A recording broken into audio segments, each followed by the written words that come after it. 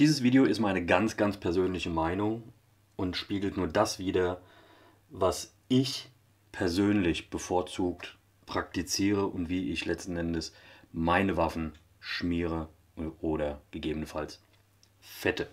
Auch wenn jetzt hier verschiedene Herstellerprodukte durchaus Erwähnung finden, geht es hier jetzt nicht darum, ein tatsächliches Produkt hervorzuheben oder nicht. Am Ende ist es immer eure eigene Entscheidung, welche Produkte ihr verwenden wollt. Jede Waffe hat andere Eigenschaften. Wir haben hier zum Beispiel Klassiker Polymerwaffe, bestehen aus einem Kunststoff und einem Metallbauteil, sprich dem Schlitten und dem Griffstück. Wir haben aber auch, wie jetzt hier an meiner alten CZ75, das Thema Stahl. Stahl hat immer aufgrund von Gießen, Fräsen, was auch immer, Unebenheiten innerhalb der Struktur auf den Oberflächen. Damit, auch wenn es sich so anfühlt, es ist nie 100% glatt. Um diese Unebenheiten etwas auszugleichen, verwendet man ja auch Fette. Diese setzen sich in diese kleinen Unebenheiten rein und sorgen so für eine bessere Gleiteigenschaft. Ich persönlich nenne es Gleiteigenschaften, der Ingenieur nennt das vielleicht anders. Druckbeständigkeit, was auch immer. Es gibt ja draußen einen kleinen Krieg zwischen PTFE, sprich Teflon, und Keramik.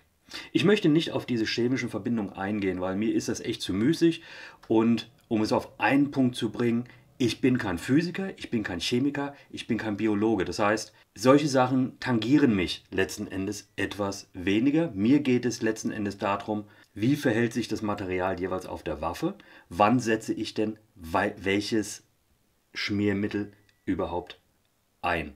Ein weiterer Aspekt, der bei so etwas immer mit einer Rolle spielen kann, muss nicht, das liegt immer an euch selber, am Individuum, ist natürlich auch der Punkt des Preises. Ich werde aber auch nicht jetzt hier auf irgendwelche Preise groß eingehen. Ich möchte nur ganz kurz ein paar Sachen mit erwähnen. Wir haben hier zum Beispiel von der Firma Ostermeier Jagd, darüber hatte ich ja bereits Videos gemacht. Einmal hier das Premium Waffenfett und einmal hier das Waffenschmieröl. Beides ist auf Keramikbasis, das heißt es sind Mikrokeramikteilchen, die wie eine Art Kugellager sich verhalten und damit eine wesentlich bessere Gleitfähigkeit. Wir haben hier von der Firma Schletek einmal das Sniper Grease und einmal auch hier das 2 in 1 Gun Tuning Öl. Auch hier handelt es sich um ein Keramiköl mit PTFE, was hier nicht der Fall ist bei den Ostermeier Jagd. Hier find, befindet sich aber das PTFE in den Keramikteilchen drinne. Deshalb dieses Thema der Hitzebeständigkeit und, und, und, und, und, ist für mich in dem Moment eher sekundär zu betrachten. Wo sieht man denn jetzt zum Beispiel Vor- und Nachteile? Ja, dieses Sniper Grease von der Firma Schletek zum Beispiel ist ein, ein Waffenfett, ein weißes Waffenfett. Wie man jetzt hier sieht, ich mache mal ein bisschen auf den Finger, das ist ein weißes Fett. Ähm, nahezu unsichtbar, wenn man, wenn man es verreibt geruchsneutral und ist extra für die Verbindung von Kunststoff und Metall hergestellt worden. Das heißt, es ist tatsächlich für die Verwendung auf modernen Materialien wie die Polymerwaffen ausgelegt. Genauso auch militärische Waffen, die eben auch sehr, sehr häufig viele Kunststoffteile aufgrund der Gewichtsersparnis dran haben. Wir haben hier zum Beispiel auch das 2 in 1 Gun-Tuning-Öl mit der, hier in, der, in dem Kleinstgebinde mit einem äh, Punktapplikator, damit ich damit auch vernünftig in die entsprechenden Führungsminuten des Schlittens reinkomme. Funktioniert tadellos, ist ein super Zeug, ich verwende das sehr, sehr gerne. Wir haben hier jetzt zum Beispiel von der Firma Ostermeier Jagd das äh, Keramikfett, funktioniert auch hervorragend, hat eine sehr, sehr gute Gleiteigenschaft. Ich habe das auf, der, äh, auf meiner äh, 08 drauf gemacht, funktioniert tadellos. Ist ein sehr schönes Fett, hat sehr, sehr gute Gleiteigenschaften. Es ist aber hier in dieser Dose zum Beispiel für mich, ja, es ist halt, ich, ich muss halt wieder mit, mit anfangen, mit, mit, mit, mit Pinseln zu arbeiten und so weiter. Das ist kein Hindernis. Wer es machen will, kann es gerne tun. Das ist auch vollkommen in Ordnung.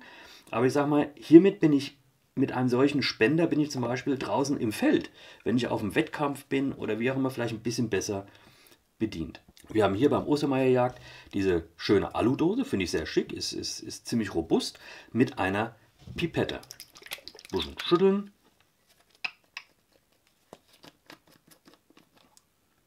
Und dann haben wir die milchig wirkende Flüssigkeit, sprich das Keramikfett. Lässt sich hier mit der Pipette auch vernünftig auftragen, wenn auch wie in dem Video erwähnt, vielleicht ein bisschen, ja nicht verschwenderisch, aber ein bisschen zu grob. Ich habe hier die Möglichkeit, zum Beispiel jetzt hier mit diesem Applikator, sehr, sehr punktuell sehr kleine Tropfen durch ganz leichtes Drücken, ohne dass mir irgendetwas davonläuft, aufzutragen. Finde ich persönlich in der Haptik, und da, das spielt für mich halt bei allen Produkten, die ich verwende, auch eine sehr, sehr große Rolle. Auch gibt es ja von der Firma Schletek diese Möglichkeit mit dem Precision Pen. Den hatte ich ja ebenfalls schon mal vorgestellt, wo ich dann einfach hier diesen, diesen Applikatorstift habe. Sieht aus wie ein Kugelschreiber, ist hier mit O-Ring und so weiter gesichert. Und dann kann ich hier per Knopfdruck kann ich das Öl rausträufeln lassen. Ist auch eine sehr schöne Sache, ist wunderbar für unterwegs. Ich habe keine Schweinerei und alles ist gut. Wie gesagt, ich persönlich habe hier bei keinen der Produkte wirkliche Präferenzen, was die Schmierfähigkeit, Gleitfähigkeit und so weiter angeht. Jedes Material hat seine Vor- und seine Nachteile. Fette sehe ich persönlich aus meiner ganz persönlichen Meinung heraus primär in dem Bereich der Langwaffen, wo ich mit einem geradlinigen Verschluss arbeite. Da sehe ich das tatsächlich als einen sehr, sehr guten, äh, eine sehr, sehr gute Option, die, ähm, die, die, den, den, den Verschlussbolzen zum Beispiel äh, tatsächlich gut zu fetten, damit er möglichst leichtgängig und einfach sich bewegen lässt. Vielleicht auch bei der Vorderschaft Repetierflinte. Das muss ich auch nochmal testen. Oder vielleicht bei meinem Unterhebler, um da einfach den Verschluss besser gleiten zu lassen, als jetzt mit einem Öl, egal welches. Deshalb probiert das Material einfach mal selber aus. Ja, es kostet ein paar Taler, aber probiert das Material aus und findet für euch selber heraus, was für euch am besten geeignet ist. Jedes dieser Produkte ist hervorragend für das, wofür es verwendet wird und das, wofür es gedacht wird. Es sind Markenprodukte und das darf man in der Form nie vergessen. Und wie gesagt, wenn jemand eine 3000 Euro Kanone hat, der hat dann im Regelfall auch kein Problem damit hinzugehen und zu sagen, ich nehme für 23 Euro eine Dose Fett. Wer eine, eine Glock hat, der nimmt dann vielleicht doch eher, oder eine andere Polymer, der nimmt dann vielleicht doch eher das etwas günstigere Fett. Das ist jedem selbst überlassen. Ich bin von allen Produkten, die ich bislang hier vorgestellt habe, sonst würde ich sie euch nicht vorstellen, überzeugt. Und ich kann sie jedem immer wieder empfehlen. Und nur darauf kommt es tatsächlich an. Ich kann tatsächlich nur wiederholen, ich bin weder Physiker, noch bin ich Chemiker, noch bin ich Biologe. Ich bin auch kein Ingenieur. Das bedeutet, ich kann euch tatsächlich nicht wirklich schlüssig bestätigen, was die Hersteller mir über die Eigenschaften und die Komponenten und die Wirkungsweise vorgehen. Deshalb bin ich, wenn ein Hersteller an mich herantritt, nicht der Mensch, der nach dem Mund des Herstellers redet, sondern ich versuche meine individuellen eigenen Eindrücke dieser Produkte wiederzugeben.